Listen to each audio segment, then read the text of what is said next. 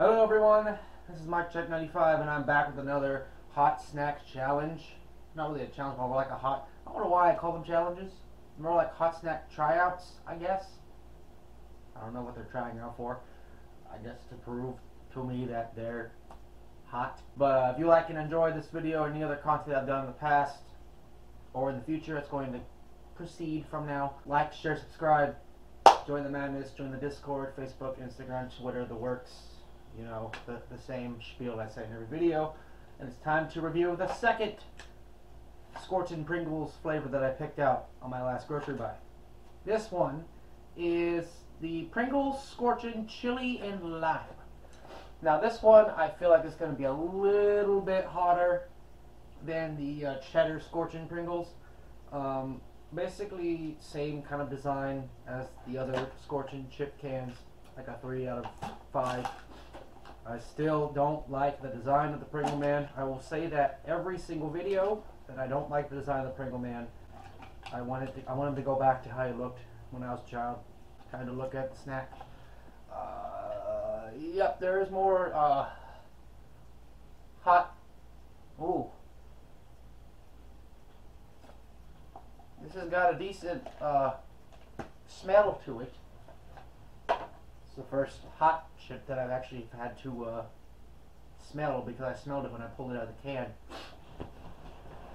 I'm smell What? Smell it. You smell it? I smell it now my nose runs. what did it smell like? smells like spicy limes. To me, that's Well- what the that one Taki that I had tastes like. The Toffee Crisps? No, not those. The There's the, one specifically that's like very limey. the, the Verde ones? I think so. I think hmm. that's what it smells like. Never had the Verde ones. But let's try out the chili and lime. Whoa. Immediate lime punch to the tongue. And there's, oh, there is, there is a kick to it. I think the lime brings out the heat more when it comes to these Pringles. is definitely hotter than the cheddar ones. You feel like I feel like you would eat these with like a Mexican dish. It feel like I would eat these at a restaurant, ordering like enchiladas or something.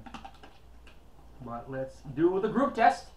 And again, I'm not doing the uh, flaming hot soda test to it anymore because that dilutes the taste of it. And already done the flaming hot video. You know what happened there.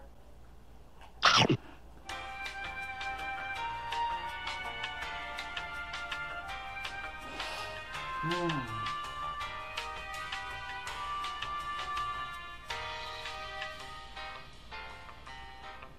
But these taste like a lesser version of Takis, but it's got to build up on the heat. I want to know how manufacturers are able to get like the artificial flavor dust on these chips like spot on to actual like flavors out there. Bunch of food science bullshit. Too bad Joker's not here to explain that. Yeah, that one definitely hotter than the uh, cheddar.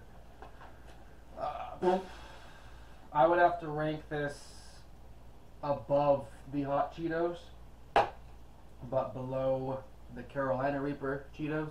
Good God, there's still heat on my tongue from those. What? The, the cheddar ones didn't do that, but these ones did it. It has to be the lime. The lime is pulling out more heat on that flavor. So, as I'm still drowning in heat and dying, and my nose is like wanting to shut down because of it. This is MykeCheck95. Again, hopefully you enjoyed this uh, quick taste tester of the chili and lime scorching Pringles. Whew. Yeah, this seems like a hotter version of Takis, even though they're weaker than Takis. They're like a lesser version of uh, the Takis. So yeah. Again, if you enjoyed my pain, uh, like, share, subscribe, join the madness, follow Discord, Facebook, Instagram, Twitter. This is definitely like a four out of five. I would like these with like tacos or something. Then I'm signing out. Go get yourself a lime.